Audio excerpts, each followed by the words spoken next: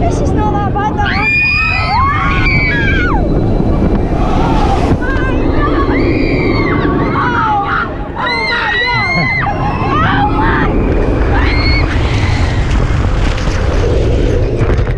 Oh, time.